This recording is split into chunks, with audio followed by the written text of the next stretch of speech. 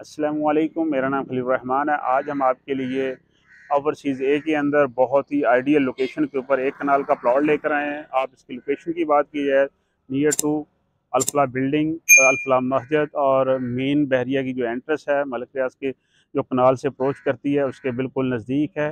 और आप देख सकते हैं, ये फेसिंग पार्क है, ये सामने आपको पार्क मिलेगा टू साइड ओपन ये कनाल है, इसके फ्रंट पे भी 40 फीट रोड है बैक पे भी 40 फीट रोड है।